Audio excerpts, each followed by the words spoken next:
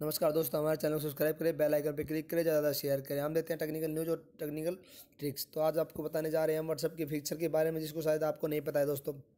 तो सभी लोग व्हाट्सअप आपको पता है कि ज़्यादातर लोग व्हाट्सअप चलाते हैं तो आपका चैनल तो आज हम उस ट्रिक के बारे में बता रहे हैं, जिससे आप काफ़ी फ़ायदा हो सकता है दोस्तों शायद। तो क्या करना है? व्हाट्सएप ऑन करना है दोस्तों। व्हाट्सएप ऑन करने के बाद आपको क्या करना है दोस्तों? जैसे आप कई बार ऐसा होता है कि कुछ पर्सनों की चैट आपको सबसे पहले पढ़ना पसंद करते हैं दोस्तों दोस्तों क्या करना है दोस्तों?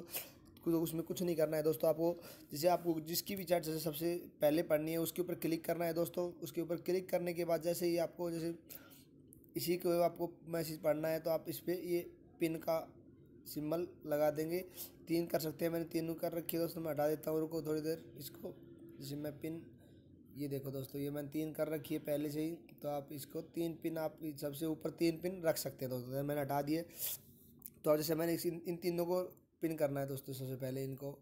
ये तो ये तीनों पिन मैंने कर दिए तो ये सबसे, इनकी चर सबसे पहले ऊपर, सबसे ऊपर रहेगी ये, कहीं नहीं जाएँगी, सबसे ऊपर रहेंगी, उसके बाद इस बाकी जो भी है, वो उसके बाद ही आने शुरू होंगे मैसेज, उसके बाद आएँगे, पहले सबसे पहले ऊपर ही, ऊपर टॉप में यही रहेंगे हमेशा के लिए। तो जब तक आप ये पिन हटा नहीं देंगे तो इस पिन तो कैसे हटानी है तो उसको दोस्तों क्लिक करना है, और उसके बाद आपको वैसे ही इस पिन के ऊपर सिंबल हटा देना है, जैसे गायब हो गया यहाँ से, इसको भी हटा देना है, और इसको भी हटा दें। जैसे कोई नंबर, नए नंबर जैसे सबसे पहले चैट पढ़ना देखना चाहते हो, उसकी सबसे पहले पढ़ना चाहते हो, उसके ऊपर आप पिन कर सकते हैं। दोस्तों, ऐसा तो प्लीज़ हमारे चैनल सब्सक्राइब करना, ज़्यादा शेयर करना और बेल आइकन पे क्लिक करना ना भूलना दोस्तों, क्योंकि हम देते हैं लेटेस्ट टेक्निकल न्यूज़ और टेक्निकल ट्रिक्स व्हाट्सएप ट्रिक तो आज इस ट्रिक्स को प्लीज़ अपने आप को ज़रूर यूज़ करना दोस्तों, हमारे चैनल सब्सक्राइब करना, ज़्यादा शेयर करना और बेल आइकन पे क्लिक करना ना भूलना।